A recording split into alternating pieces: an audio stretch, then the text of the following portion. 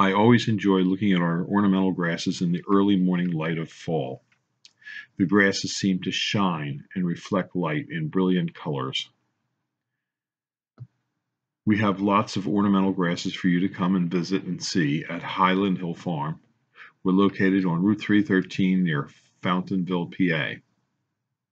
We have both small potted grasses and larger potted grasses for you to select from, and we do deliver and install. So come and see ornamental grasses at Highland Hill Farm. We have many varieties for you to select from.